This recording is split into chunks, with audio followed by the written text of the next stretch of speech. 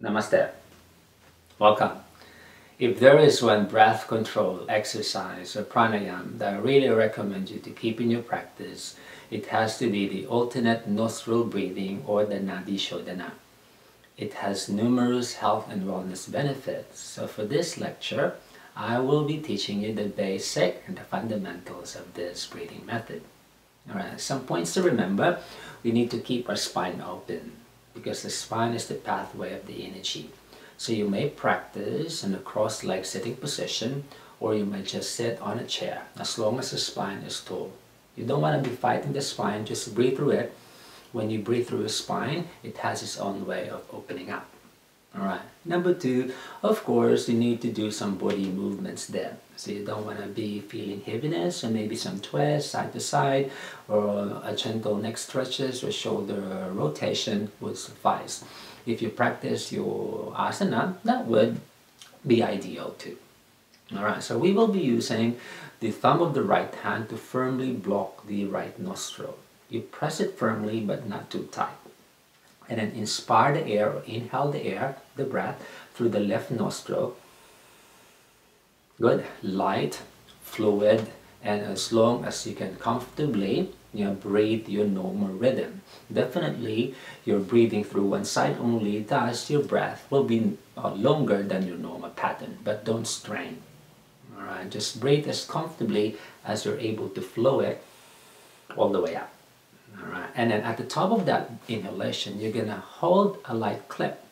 This is very important because that clap, yeah, you are allowing the healing force of the prana to remain inside the body.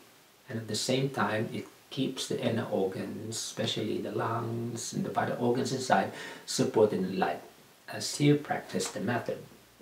Alright, so after the top of that inhalation clip, alright, and then use the ring finger of the same hand, the right hand, to block the left nostril, keeping the spine open. Exhale the breath through your right side without collapsing the spine. At the bottom of that exhalation, lightly pause, maybe half a second, and then inspire again through the right. Clip, right thumb blocks the right side, exhale through the left, a gentle retention, pause. Slowly breathe in, the breath is rising, feel it rise through your spine.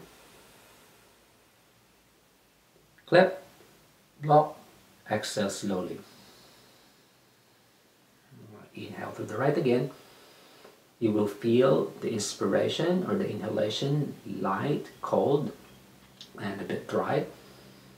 Clip, and then you might feel the exhalation or the releasing of the breath, moist, and a bit warm. Good. And retain or pause and then repeat the process. Alright, so it's so simple. Yeah? If your bandhas are developed already and you want to progress the technique, you might do some retention, but really not necessary. Yeah, for general health and wellness, you just breathe through it using your normal rhythm. Right, so after the practice, you might just breathe again your normal pattern, let the breath recover. Yeah, through the practice, for example, you feel strain or heaviness, release the technique, and then just recover the breath and resume the practice again. So after the Nadi Shodhana and you still have the time, you might do a meditation, stillness, or just relax a bit before you rise up again and do your normal activities. How many start small? yeah, as um, short as three minutes yeah, would suffice. And then add on maybe one minute every two weeks until you're able to comfortably uh, perform or practice maybe 11 minutes in a session. Three times a week, every day is a beautiful practice, any time of the day, whenever you need it. Till the next one. Namaste.